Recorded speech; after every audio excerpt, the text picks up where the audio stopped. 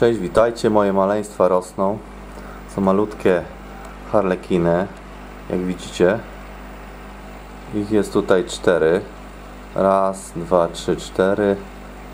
Dosyć fajnie się ukrywają. Mm, Wczoraj naliczyłem 9. Jeszcze Wam pokażę to, co wychodziło z tych zakamarków. Widzicie? Przepraszam, że taka jakość filmu, ale niestety nie jestem w stanie teraz wyczyścić przedniej szyby, bo mi uciekną maluszki. One już podrosły, już mają parę milimetrów. Tam kolejne samice z jajami chodziło. Ostatnio nagrałem filmik. Są cztery. Zobaczymy, co jest tutaj jeszcze na skałkach.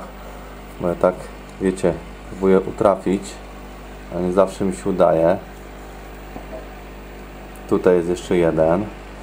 Słabo go widać, bo się nie porusza. Tu nie wiem, czy jest. Tutaj jest jeszcze jeden. Jak patrzę, gdzie tu jeszcze można złapać gościa? Gdzie tu jesteś? Gdzieś tu jesteś. O, widzicie? I tutaj. Przez kamerę będzie trudno mi uchwycić. No na żywo widzę, nie? Super. E, Tu robię zooma, no. O, jest tutaj. Siedzi sobie. Mówię, no wczoraj 9 ich naliczyłem. Gdzie tu jeszcze jakieś maluszki chodzą? No duże gdzieś tam są, ale jak widzimy maluszki wcale e, się nas tak strasznie nie boją. E, o, tu się pewnie gdzieś schował. No, tutaj tancuje kolejne dwa. No fajnie to wygląda, bardzo się cieszę, tym bardziej, że są nowe parametry. Tu jest US-ów koło, mówię, no 180, tak około. E, pH 8,5. Teraz jest nawet 8,56, bo mnie nie było w domu, więc e, nie, by, nie było, że tak powiem, dwutlenku węgla. Jak coś gotuje, to troszeczkę spada. Nie wiem, czy wiecie, że tak może być, ale tak naprawdę może być. Pod wpływem różnych takich rzeczy. Co mogę Wam powiedzieć? No, fajnie, że jest ich troszkę. Raz, dwa, trzy.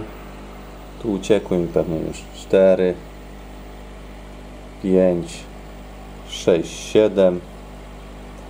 Um, Tam na górze może się już poruszył, pokażę Wam. Osiem. Osiem na pewno. Hmm. Trudno wycelować. I tutaj po środku chyba jest dziewiąty. One mają bardzo fajnie w tych skałkach, w tej lawie, ponieważ e, mają skrytkę. Tak, one się chowają. Tam, e, że tak powiem, bakterie też na pewno jakieś są i one sobie to wszystko sprzątają swój domek. Można tak to nazwać. Co mogę Wam dodać? No, żeby było ich jak najwięcej, bo e, obserwuję wylinki. Po wylinkach widać, parametry wody się sprawdzają, czy nie. I póki co te wylinki mam w miarę dobre. W miarę dobre. e, Nie są może jakieś idealne, ale lepsze niż były. Przedtem były takie troszkę e, przytwardawe, miałem za, za twardą wodę i jednak kiedyś mi ktoś powiedział, że e, na twardej wodzie nic, nic nie będzie małych przeżywało. No to może faktycznie jak zmiękczyłem teraz wodę, to mm, się polepszy. Nie będę już kombinował, bo to dużo zrobiłem podmian, bardzo dużo na nową wodę. Mm. I myślę, że też y, sam fakt odporności tych krewetek, tak? Wszystkie krewetki dzikie, jakbyśmy by nam się urodziły, nawet F1, to one są mm, odporniejsze od rodziców, ale ich dzieci coraz bardziej. I warto by było przetrzymać te krewetki, żeby urodziły młode. Nie wiem jak to zrobicie, jak, jak, jak będziecie kombinować i, i co robić, ale postarajcie się. Ja mam na pewno 9 maluszków na widoku y, i to w dzień, bo jest godzina około pierwszej. Więc naprawdę jest bardzo dobrze. Bardzo dobrze, jestem bardzo zadowolony. Um, nie wszystkie tak krewetki entuzjastycznie zareagowały na, na zmiękczanie wody. Za to harlekin o dziwo, o dziwo porządku, już pokażę Wam wylinkę, gdzieś tutaj była. O. Ona nie jest taka idealna, nie? Coś taka jest taka... No. W porządku, cała oczywiście, krewetka na pewno cała wyszła, bo jest aż pod czubek, ale mm, nieraz widzicie takie wylinki, przynajmniej ci co obserwują swoje akwaria, że są takie bardziej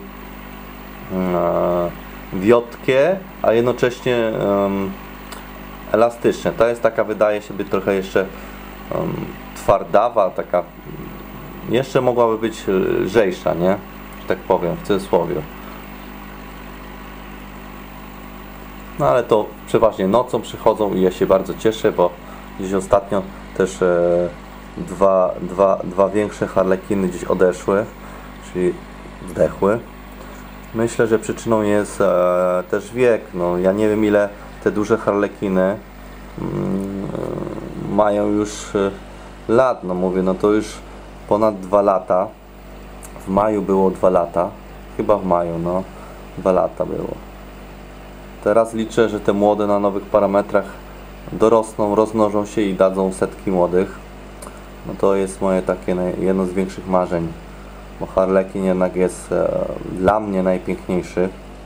Inne też są piękne oczywiście, ale gdzieś tu ukochałem sobie tą krewetkę i uwielbiam na nią patrzeć, oglądać, obserwować. E, w sumie mógłbym godzinami patrzeć ale jak będzie ich setki, nie będą się chować w ciągu dnia, to myślę, że to będzie jeszcze fajniejsze, nie?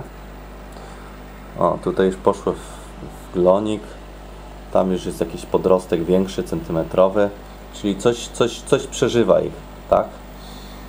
Coś tam się dzieje, dużych, żeby Wam nagrać coś, tak? No, to są akurat podrostki centymetrowe, to nie są jeszcze duże. Tam jest taki, nie wiem czy, o, odbija szybę. Tutaj jest taki jeden. One są bardzo teraz aktywne w ciągu dnia. No, dla mnie, jak widzę w ciągu dnia, że krewetki wychodzą, nie boją się wychodzić, e, to jest bardzo dobra oznaka. To znaczy, że mm, mają się bardzo dobrze. Mm, Nie, nie ma jakby e, problemów e, z parametrami. No i to cieszy ogólnie. E, Nie wiem, czy to jest ze sprawą kokosa. Ja już kiedyś wspominałem, że kokos ma pewne właściwości bakteriobójcze, a e, większość krewetek, co nam pada, to nie przez e, same złe warunki GH, KH, CA i, i tam e, azotany, azotyny, amoniak, tylko właśnie przez patogeny. No, może kiedyś coś nagram na ten temat, ale nie wiem, czy ja jestem aż tak mądry. Dobra. To tym ładnym akcentem e, będę powoli kończył. Są maluszki, żyją, są zdrowe. E, trzymajcie kciuki, żeby dorosły, rozmnożyły się. Bo jak ja będę miał ich dużo, to wtedy i Wy może będziecie je mieli, bo co ja będę robił z nadwyżką krewetek, tak? No. No to miłego dnia życzę. E, Jak widzicie, już mam miły, bo oglądam moje kreweteczki, jak, jak dorastają, malutkie harlekinki. To trzymajcie się, na razie, cześć.